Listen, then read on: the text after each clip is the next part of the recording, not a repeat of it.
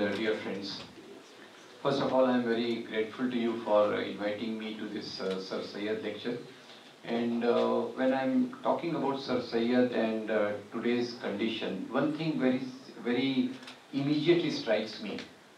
As our friend was telling us the backdrop in which Sir Syed had come and diagnosed the problem of Muslim community about the education and other things, let's imagine that backdrop.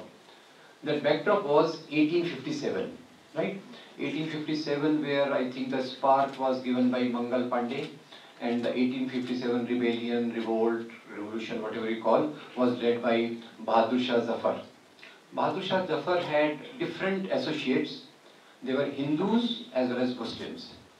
It was a revolt of peasants on one side because peasants were very much disturbed by the new taxation system imposed by the British. Now what British did, of course, uh, uh, since you are many of your students, of course, due apologies to the faculty here, many of your students, I, I will go on giving some references.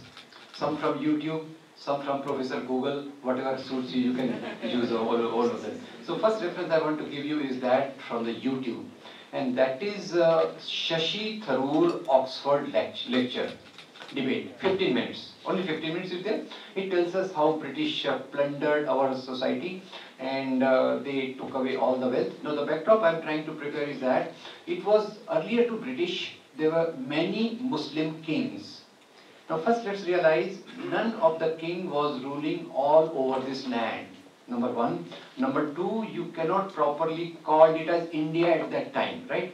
Actually, according to me, India came to be through the freedom movement. Earlier, there are many kingdoms, and the religion of the king cannot be the marker of the society. Now, this painful thing I'm saying because Today, for us, for example, there is a very popular perception. Some of the things I am very disturbed, so I keep breaking those perceptions. And while talking of 1857, that perception is very important. One perception comes, and that comes from the highest to the every level, that, uh, you know, uh, India was a slave country from last 1400 years.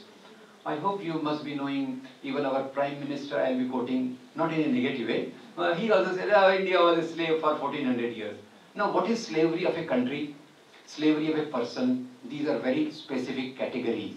But they have been abused recklessly by the communal politics which has come up and that dominates our social thinking. Anyway, so British on one side and the other side, the re rebellion, revolt was by the large sections of people. Number one, landlords, kings and princes, they were disturbed by the new pattern introduced by British peasants, they were very disturbed. They were very disturbed because whole the system of taxation was uh, done upside down and the peasants were a big victim of that. Victim of that. So this was the cause of the rebellion. How it was perceived by the British? British saw that it is the Muslims rebelling against the empire. So what do they do? Once they are successful in recovering their rhythm, once they are successful in coming back to power fully, the first thing they do is to left, right and center do lot of atrocities on Muslims. Why? They did atrocities on everybody. But why Muslims were selected? Because they thought it is the Muslims who have led the rebellion. According to me, it was not a Hindu or a Muslim rebellion. It was a rebellion of different princely states, different peasant groups and the peasants as such who were going on. But basic point is that that was a time because of the British repression, the Muslim community as such came under big amount of setback, number one. Number two, at the same time, because of British rule, just don't think that I'm going to paint British or Americans only in black color. There are different shades, some good, some bad, some central core, something, something good is happening. What is good is happening? British also bring in modern education, replacing the old madrasa and Gurukul, both. Let me balance it out. Otherwise, one is easily targeted. Oh, you are like that. Okay. So, there is a madrasa, there is Gurukul. British brought in the modern education. Now, in modern education, all the elites are not able to take advantage. So, Hindu elites basically take bigger advantage. Why I am using the word elite? Because even this till time, till this time, the lower caste the Rohit Vemulas were not coming to the forefront. For them, we needed Jyotirao Phule. Girls were not coming forward. For that, we need, needed Savitribai Phule. After which, others also started taking advantage of modern education. So what was Sir Syed's diagnosis? His diagnosis was that Muslim elite are falling backward because of the lack of education. So that was a central powerful message which he lived in his life and brought all those changes related to education. Now why I am re uh, remembering this? That was a time when the British ruling authorities were targeting Muslims as a community. That it is because of Muslims that 1857 rebellion took place. Now today, what do I see? Today in place of British, there is some other power, Washington, White House, and they very cleverly have targeted from 9-11-2001 that terrorism has its root in Quran, terrorism has its foundation amongst Muslims, that popular formula which many of the people keep saying, all Muslims are not terrorists, don't worry, all are not terrorists. All Muslims are not terrorists, but all terrorists are Muslims. So that popular formula was the handiwork of American media. I know many of you will be aspiring to go to US. Please go. No, not a problem. But I am talking of American global policies, American state. After 9-11, what do the American media, what does it do? It simply popularizes the slogan, all Muslims are not terrorists, but all terrorists are Muslims. And that is then again picked up. There are other people waiting for such, such uh, handy things for them to use in their politics. So there are some of them are in India also. They picked it up and then they try to broaden it. And that's where I'll begin in some popular way probably. Since you're students, I generally take the liberty of having an interactive mode. Is that okay? Okay, fine, thank you very much. Now, so some of the terrorists I remember, before coming to this listing of the terrorists, I am reminded of one thing. Who's a terrorist? Surprisingly, surprisingly, all over the world, terrorism is being talked about. Not in one fora terrorism has been defined successfully, nor not even in the uh, papers and the documents of United Nations, terrorism has not been defined properly. Everybody will talk, fight against terror, you know. Those people, two big prime ministers meet each other. Ah, let's come together to fight against terror. But hello, what is terror? That they don't know and they don't want to define. Either they don't know or they don't want to define. They define the act of terror.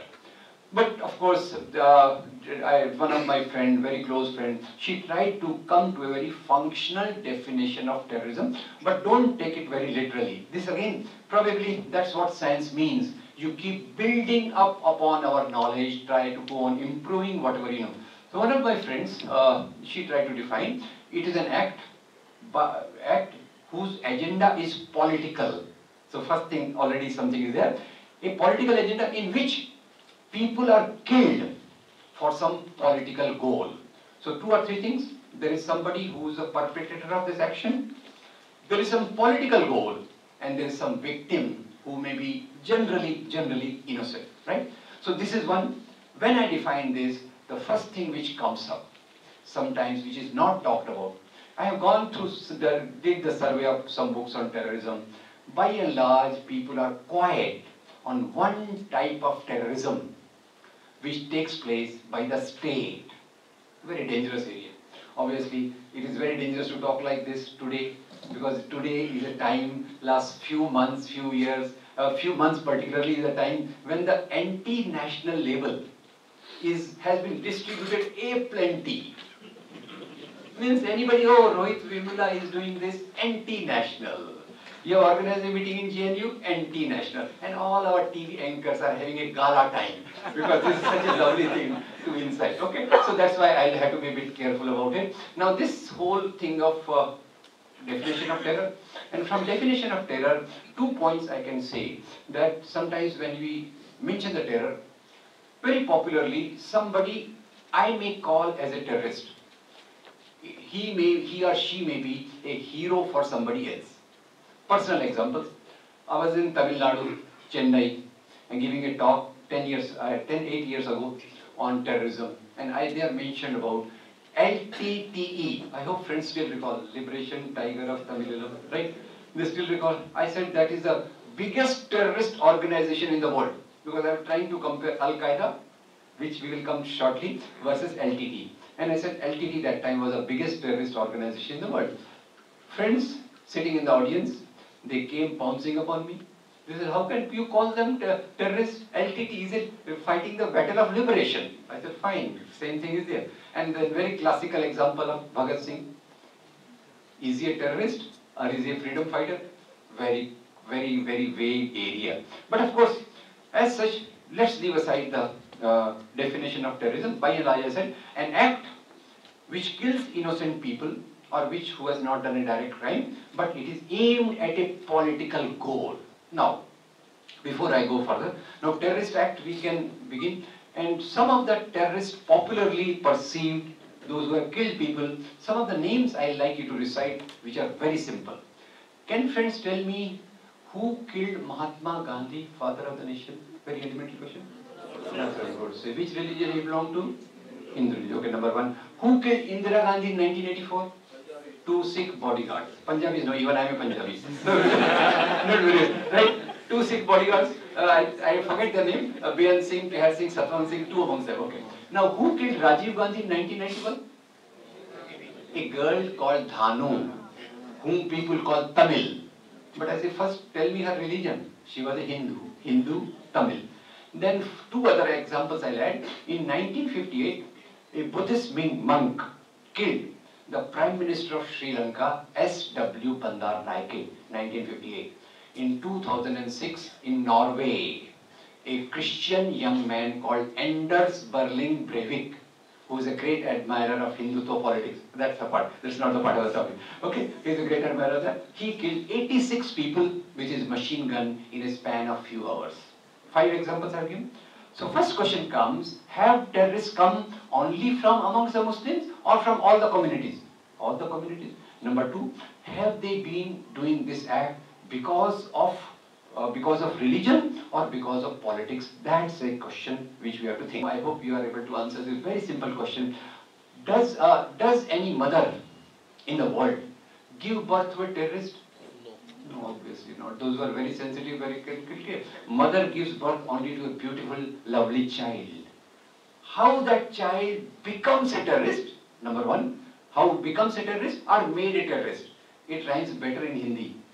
वो आतंकवादी बनता है या बनाया जाता है. And now this is the basic mechanism which we have to understand. Why somebody will become a terrorist out of like such wonderful opportunities are also there. Deprivations are also there. That I know. World is not fair, world is totally unjust, but opportunities are also there. Why somebody will choose a path of terror? And there by and large, the basic observation is when somebody perceives, feels that injustice being done against that person or injustice being done against his community or injustice being done against his nation crosses a threshold now that, because injustice is very subjective, right? When injustice crosses a threshold, some people take to the path of terror. Of course, because I, say, I am very clear about it that level of injustice will be very different because some people sitting in the audience maybe think that this lecture is also injustice, etc., etc. All those sort of things are there. So I'm not going into that. So that is one. And second is how terrorists are made. Now terrorists are made, two examples I'll give. I hope some of you might have read about Swami Asimanand's statements today in the paper. That is one. And second, of course, that famous example of, uh, uh, what is that name, who has died? Osama bin Laden, right? You all recall two aeroplanes hijacked? What they say, what they say. I'm going, I'm not going by conspiracy theory and what is there because that's a chapter by itself. Those who are interested can refer to the website, very simple to remember, whatreallyhappened.com. Okay, very simple to remember. So I'm not going into the details of the real theory of that. Two aeroplanes allegedly hijacked. They come and strike against that twin tower World Trade Center. With that collapse, building collapsed like this. Now again there is a very mystery about it. Why building did not go like this? Why it could not go like that? How such a massive building could come down with the attack of two aeroplanes which are minuscule compared to the size and the strength of the building but that should not distract us from the basic topic. So basic thing, building comes down with that nearly 3000 people get killed. Number one. Now can you answer me? Uh, the people who get killed, these people are guilty people or innocent people? innocent, innocent, number one. Number two, the people who got killed, they were belonging to which country? World Trade Center. It's not United States. They belong to practically all the countries of the world. Number three, to which religion they belong? All the religions. When 3,000 people belonging to most of the countries, all the religions got, got killed, after that, few hours after that, that dreaded man, fortunately he's dead, by uh, that America attacked Pakistan. It is not called attack, but it was attack. Abbottabad, they landed up and they killed a person that he was a terrorist. No law, no trial, nothing, nothing. We are the law. So we don't have to take any permission. They entered Pakistan and they killed Osama bin Laden. No, no complaints. Okay. Few hours after this 9-11 attack, Osama bin Laden is seen on the TV. And he says, I am very happy. This is jihad. More such acts should take place and I'm thankful to Allah for doing this thing.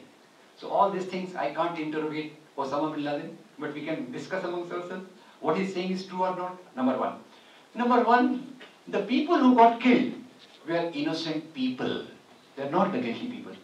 So my question comes, does any religion in the world teach us to kill innocent people? Yes or no? No. No. Does Islam teach us to kill innocent people?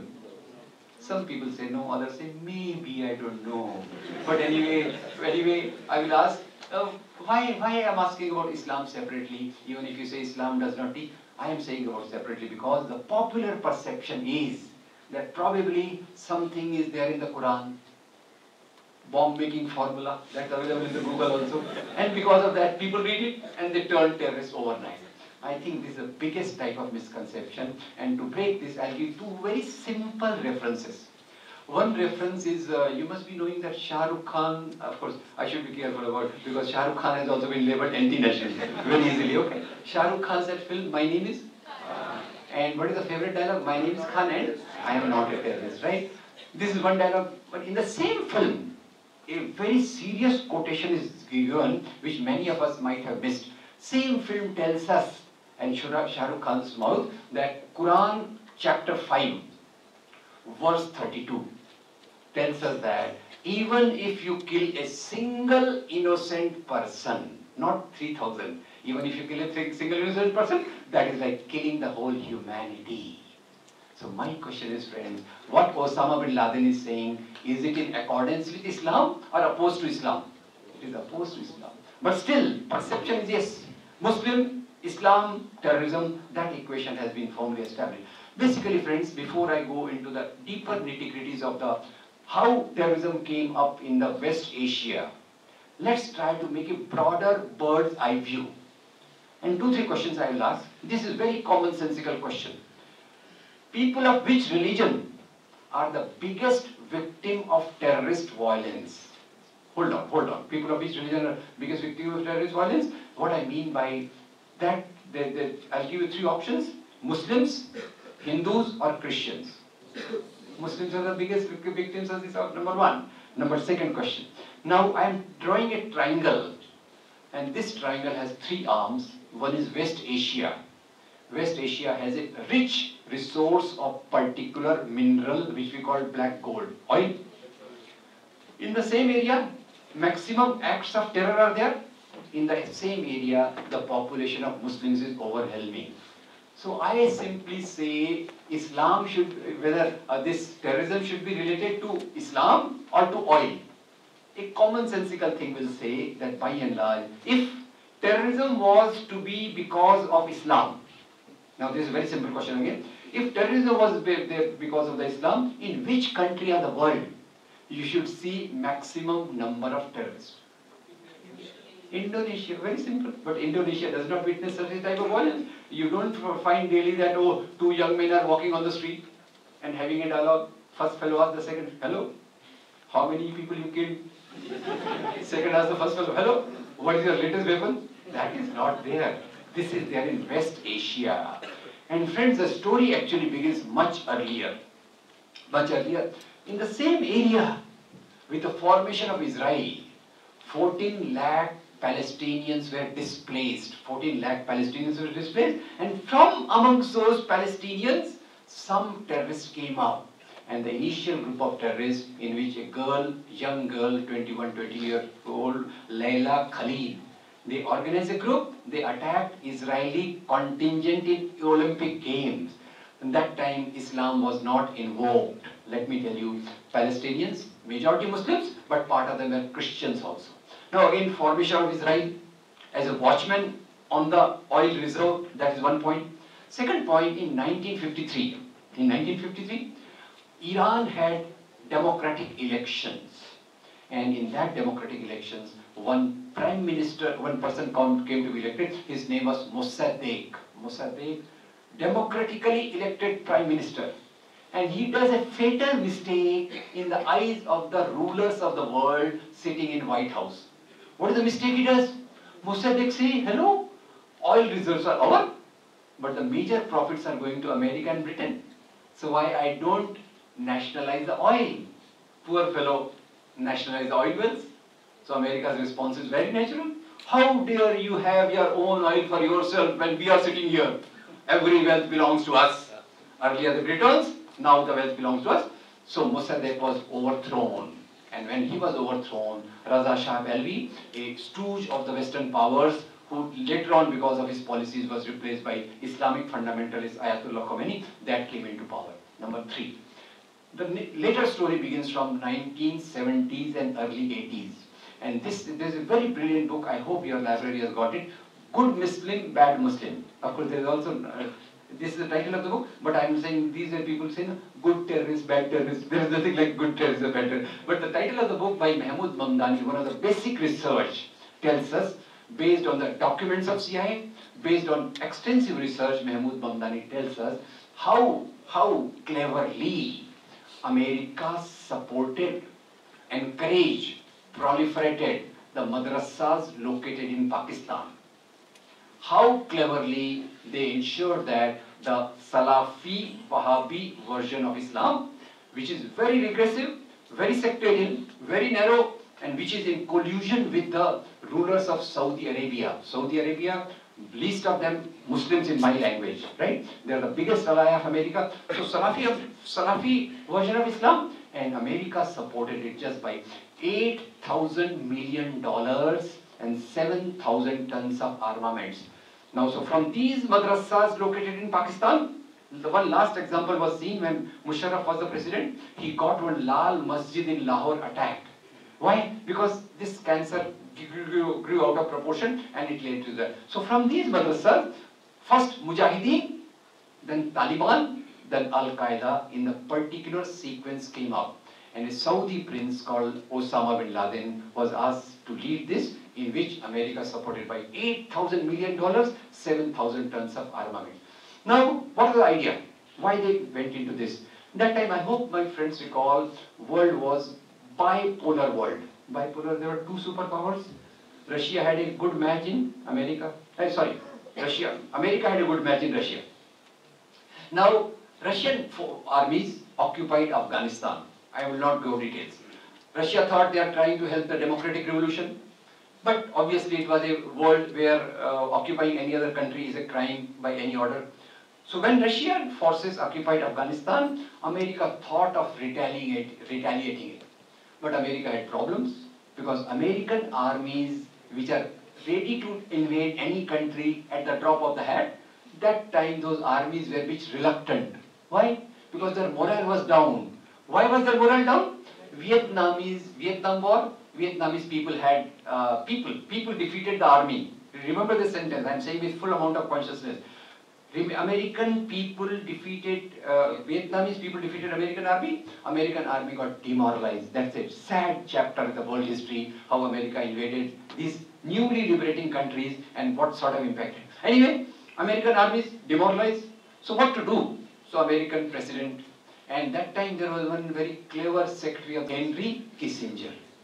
Now they came with a brilliant formula that uh, if we can't send our armies to West Asia to Afghanistan, no problem. We will fight our battle through the Muslim youth of Asia. No problem. I mean, our youth are safe here. So what to do?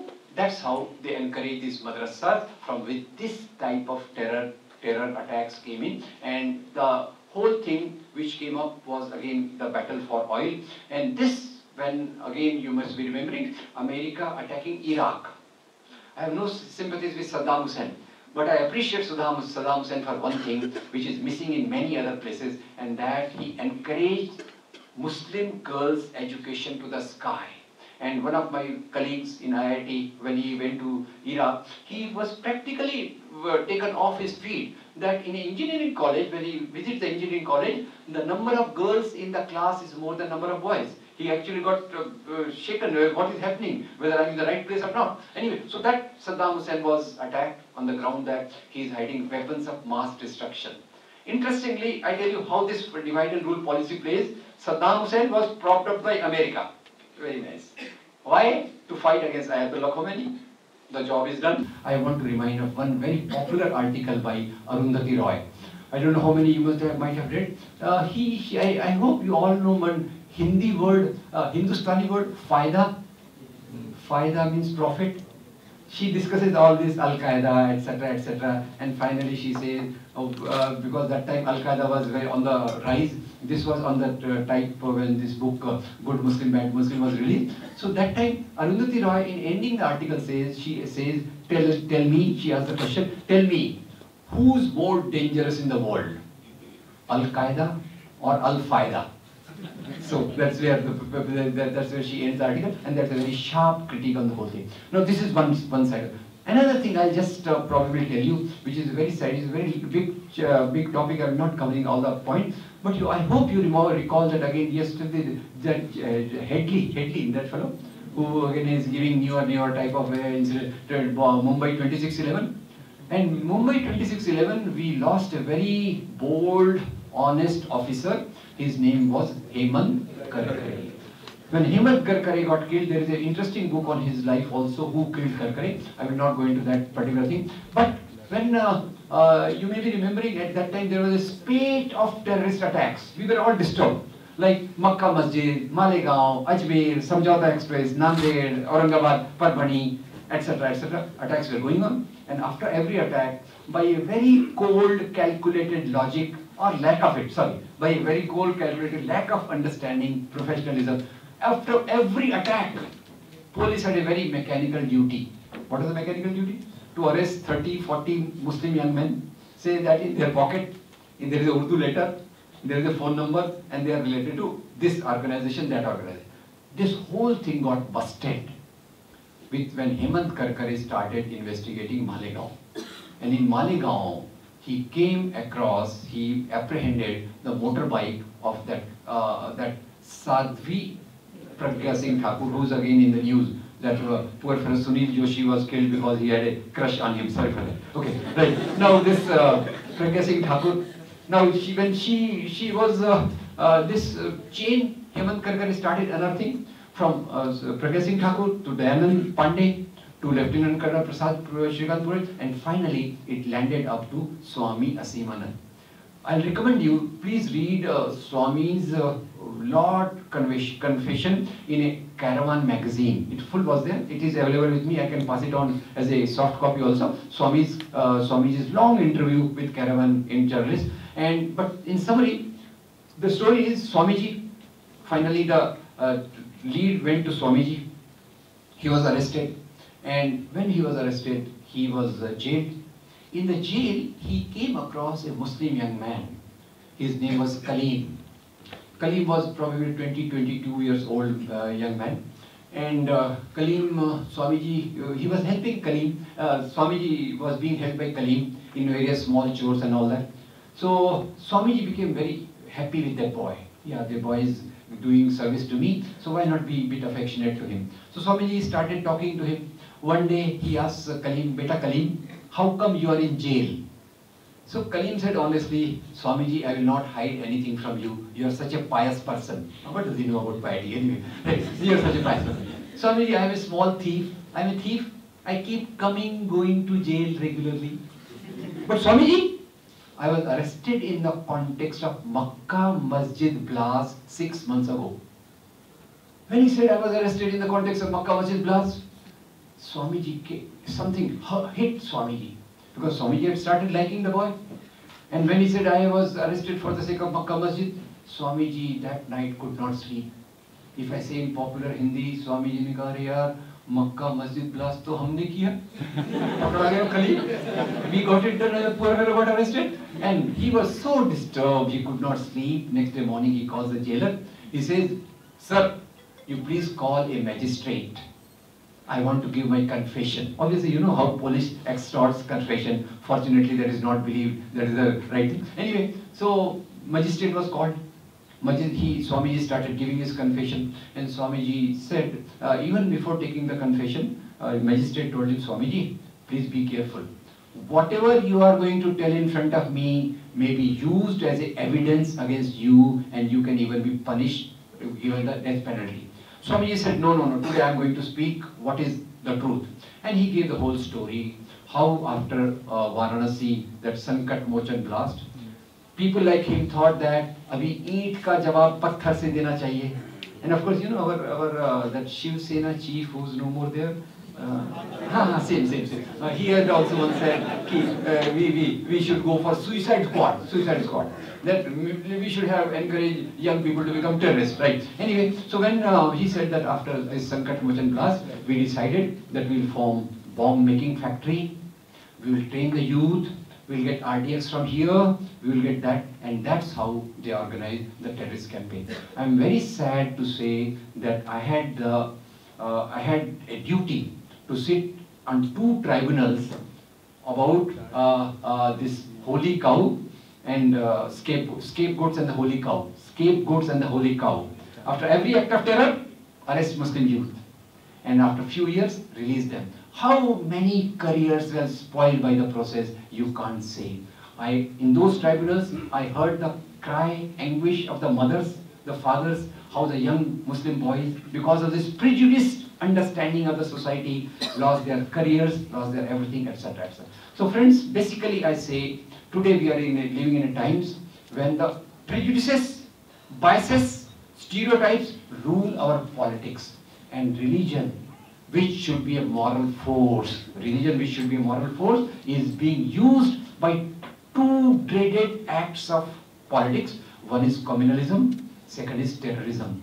Both these are deeper political process which we need to understand and what I will urge upon you that let's go beyond the obvious, let's go beyond what is visible, let's try to see the real phenomenon because we want to live in a society where we can live uh, with freedom, dignity, and that should be for all of us. That's what we need for our time. Thank you very much.